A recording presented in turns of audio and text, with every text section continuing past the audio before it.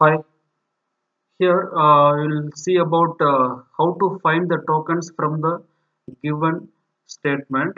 Uh, the given statement is printf printf of uh, in between the quotes total equal percentage d slash n comma score is the identifier then closed parenthesis semicolon so the lexical analyzer will read this statement character by character. Uh, p r i n t f. Then this printf after that identify it reads a group of characters. So letter followed by any number of letters. Then it reaches, reaches the uh, parenthesis so uh, identifier will have will not allow the uh, parenthesis uh, as per the rule. So printf up to printf will be assumed as a one token. That is the identifier. So identifier letter followed by any number of letters and digits. So printf is the value that is the lexeme. Then uh, open parenthesis that open parenthesis is the uh, symbol. Then in between the double quotes whatever available content that content is a literal token. That is here given. Then uh, comma. Comma is the white space that is the delimiter that will be assumed as another token but uh, for white space uh, there is no value only comma itself is the value. Then uh, next one is uh, S C O R E. So letter then followed by any number of letters then it re reaches the uh, closed parenthesis the identifier only follow uh, letter and followed by any letter and digits only. It will not allow the symbol. So score is assumed as the another one identifier. So lexeme is the score. Then closed parenthesis that is the symbol.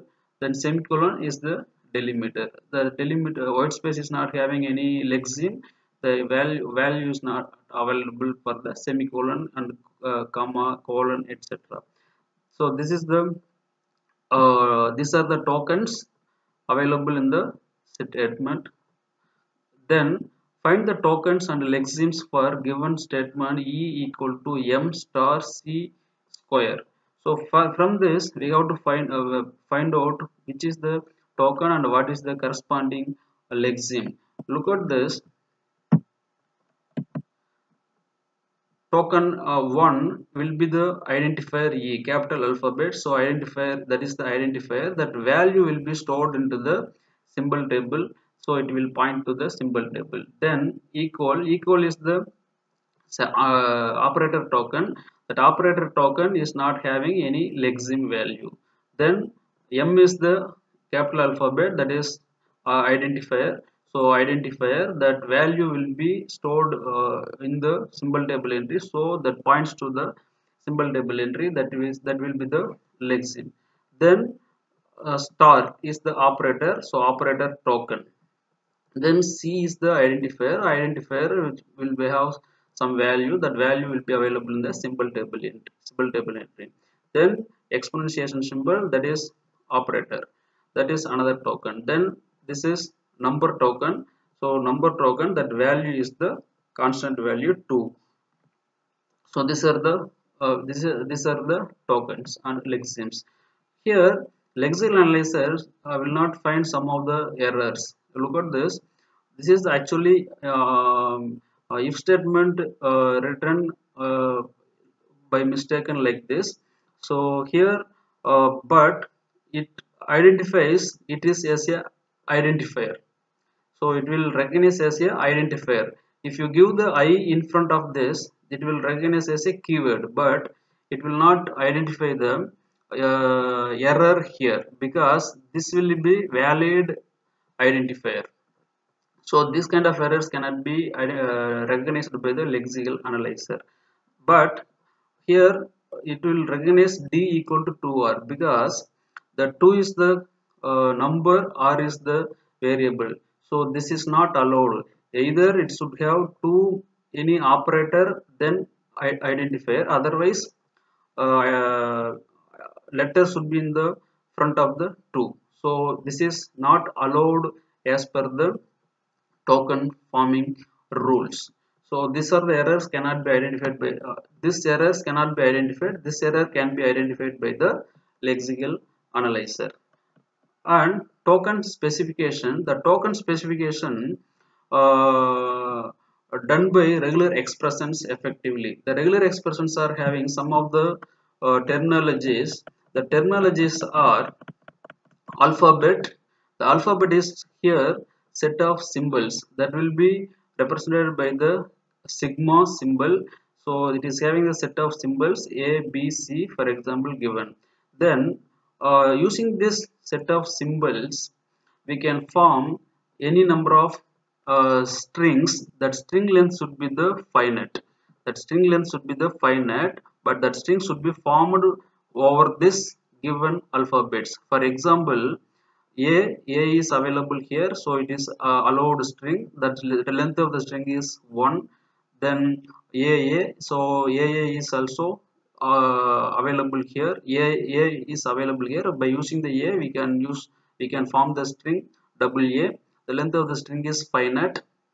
Then ab so both symbols are available in this given alphabet. So the length of the string is also uh, finite. Then abc a is also available. B is also available. C is also available. Length of the string also finite. So it is allowed string. Then language. Language is set of strings. Set of the strings. That strings should be formed over the alphabet sigma.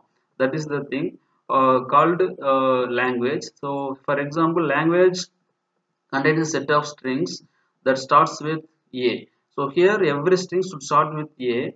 So that belongs to the language l. So here length of the string a starts with a. This is also starts with a this uh, string also starts with a then followed by any number of uh, symbols over this b a b c. Here acb these three symbols available in the alphabet but and also start with a. So like this the set of strings that starts with a belong to the language l. Then then the regular expressions uh, having some set of operations look at this. If it is uh, uh epsilon epsilon is the empty string. If language is having empty string then language is represented by a set of empty strings. Then if you if you have uh, only one symbol in the alphabet then uh, if the forming the language is with length forming the language or the symbol a with length 1 means it can be represented by language equal to uh, set of string is a that is only string length will be 1 then uh, some of the operations are union concatenation Kleene closure positive closure. Union means uh, set of languages or the r and set of uh, uh, strings or the yes so can be uh, uh, union.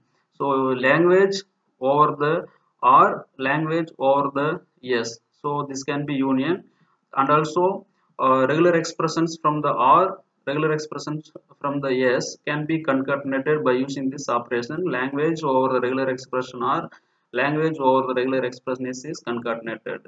Then Kleene closure. From the single regular expression we can form the language uh, here that uh, a star in the sense that string length will be start from i equal to 0 to infinity. The language is having set of strings that string string uh, length may be the 0 to infinity. String length is 0 means uh, empty string. Empty string means epsilon. Here positive closure the string can be formed uh, over the positive closure. The string length minimum should be 1 so 1 to infinity. If this positive closure means it will not allow the empty string in the language. Thanks for watching